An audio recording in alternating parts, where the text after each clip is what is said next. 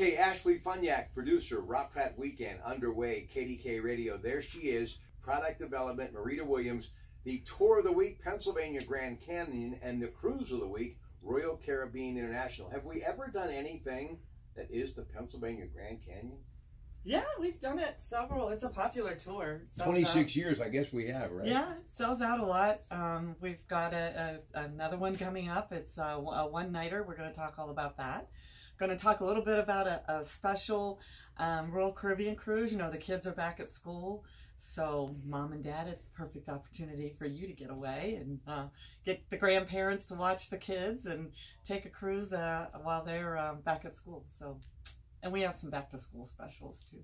My parents always told me to take that one trip. Go fly a kite. Just go somewhere. Get away. All right, ladies and gentlemen, 1 800 354 8761. As Marita mentioned, it is the Pennsylvania Grand Canyon, October the 10th through the 11th.